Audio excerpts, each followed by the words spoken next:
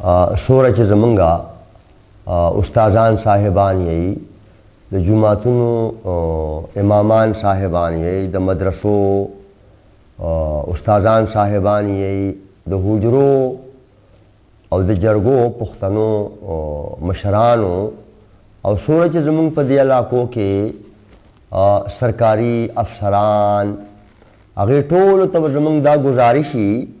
چې زموږ په دې خاوره تعلیمي شرح چې ده هغه ډېره زیاته کمه ده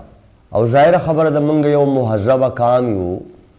او اوس خو د سوشل میډیا او د میډیا دور دی ټوله دنیا ګلوبل ویلیج ده موږ وینو موږ ګورو چې د دنیا قامونه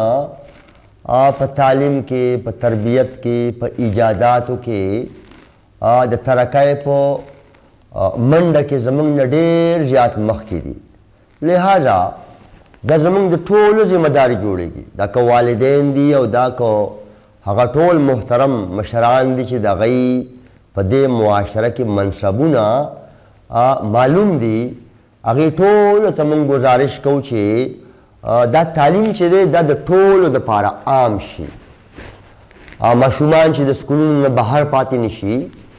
او خاص کر بیا زمونږ جینکۍ زمونږ بچیانې زمونږ خویندې دا تعلیم چې دی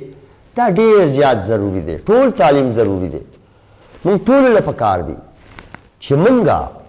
څوره مشکلات دي څوره مسلې دي په دې تعلیمي نظام کې یا په دې تعلیمي ماحول کې چې ټول پکې ذاتي دلچسپي واخلو په شریکه راپاسو او دا تعلیم چې دی چې دا مونږ عام کو زه امید لرم انشاءالله که خیري چې زمونږ نه څوره حده پورې کېږي انشاءالله دا کردار چې دی دا به مونږ ادا کوو